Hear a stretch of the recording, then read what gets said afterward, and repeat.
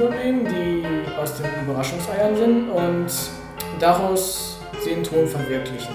Also wir hatten erst einen 10 Kilo klotzen Ton, den haben wir dann erst grob so geformt und dann auch Details gemacht. Ja, eigentlich ist das nicht besonders schwer. Man muss ja eigentlich nur eine Figur im Kopf haben und eigentlich auch richtig Kraft in den Händen. Nämlich der Ton ist am Anfang sehr hart, man muss ihn erstmal noch weich kriegen. Ähm, am Ende kriegt man aber Schwierigkeiten, wenn man den Ton zu viel geknetet hat. Dann wird er langsam zu weich und die Arme könnten zum Beispiel abfallen. Wie hier ist mir der Arm fast abgefallen. Ich habe eine Gitarre gemacht, ein Herz und ein Griffelo.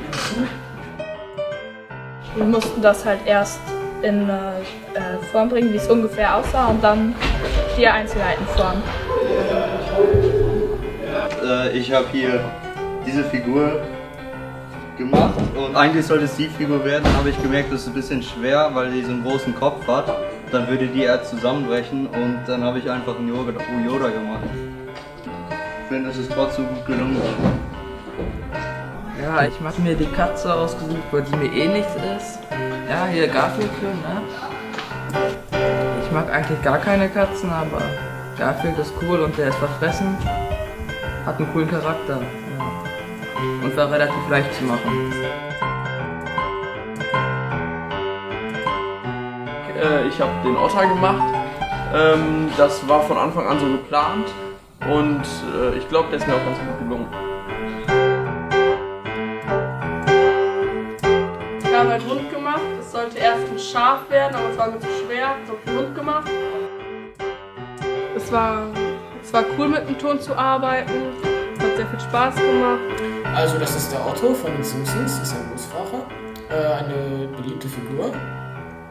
Die habe ich mir ausgewählt, weil sie ganz cool aussieht und auch ein bisschen anspruchsvoller war als so ein Klumpen oder so eine Fantasiefigur. Die Figur besteht aus zwei Teilen, wie man hier sieht. Die ist auch relativ schwer.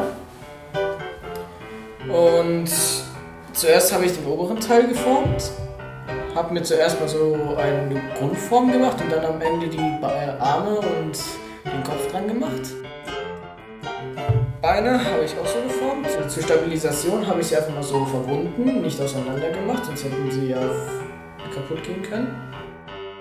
Das war's. Am Ende habe ich noch ein paar Accessoires dran gemacht, wie zum Beispiel den Kopfhörer hier und den Betreiber.